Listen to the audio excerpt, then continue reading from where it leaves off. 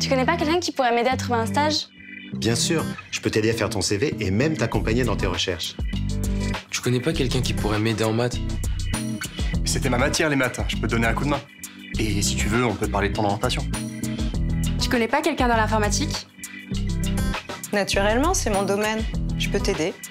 Toi aussi, fais la rencontre qui change tout sur unjeune-une-solution.gouv.fr slash mentorat.